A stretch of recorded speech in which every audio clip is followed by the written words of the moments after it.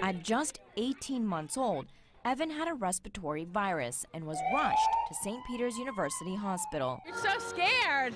You don't know what's going on, why your child can't breathe. Doctors said he had asthma. When someone is having an asthma attack, the tubes that carry oxygen in the body become narrow, causing a child to cough, wheeze, and have difficulty breathing. Asthma is the most common chronic disease among children.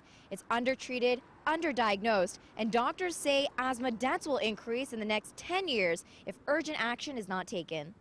7.1 million children in America suffer from asthma. Dr. Singh says extreme changes in the weather and tree pollen trigger asthma attacks. Preventing asthma attack is done by inhaled corticosteroids inhaler, which needs to be taken every single day whether child has symptoms or not symptoms. Which six-year-old Evan has to do every day. He has to have treatments every four hours until bedtime. The best way to avoid an asthma trigger is to keep your home dust and smoke free. Air purifiers are also key for proper ventilation. Tasmin Mahfuz, Ebru News.